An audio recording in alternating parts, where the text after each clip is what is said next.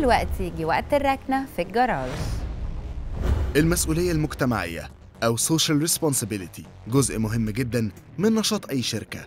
وعدد كبير من شركات السيارات في مصر بقت بتقوم بدور كبير لخدمة وتنمية المجتمع المصري من خلال الأنشطة المجتمعية اللي بتقوم بيها سواء كانت تبرعات أو أعمال خيرية أو تنمية المناطق العمرانية والخدمات الموجودة فيها زي المدارس وغيرها أو حتى تجميل الشوارع ورعاية الرياضات المختلفة. والمتفوقين في كل المجالات.